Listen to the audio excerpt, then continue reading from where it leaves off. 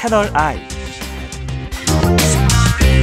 아직 우리나라 사회 분위기는 여성분이 결혼을 하면 어쨌건 이혼을 추구하는 집단에서는 어떻게든 배제를 하려고 한단 말이에요. 그 사회 분위기 지금 말씀하셨던 것처럼 이상적으로 출산하면 출산 장려금도 팍팍 주고 뭐 저기 취업할 때도 뭐 가산점 주고 사회 분위기를 바꿔야지. 국가. 정책을 바꿔야 되는 거예요. 보니까 뭐 어떤 설문조사에는 뭐 명절 때도 혼자 지내는 게 더 좋다는 그 그렇지. 젊은이들이 뭐 반이나 된다 그래요. 저 그리고 뭐 밥도 혼자 추석- 먹어. 네. 이번 추석 혼자요?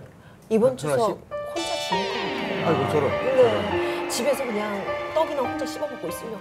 추석 전에 추석 전에 내 소개팅. 정말? 예. 근데 나이가 60 넘었는데 아, 고1이더라. 능력은 능력은 아이도 한 셋 있고. 이 박사님 아이고. 그건 소개팅이라고 하시는 게 아니고요. 추석에 독거노인 봉사라고 하셔야죠.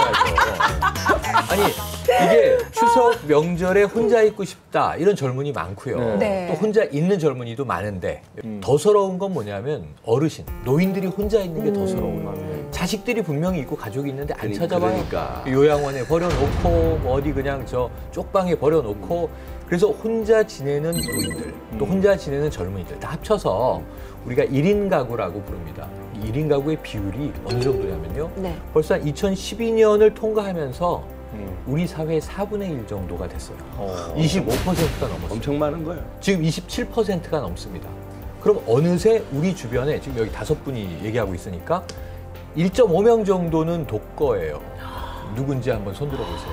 여기 계시죠? 독보 여기 여기 독- 여기 독보잖아. 독보. 독거. 이 정도 되잖아요. 그러니까 요 정도 기본 비율로 우리 사회에서 네명이 모이면 한명은 혼자 산다. 채널 I.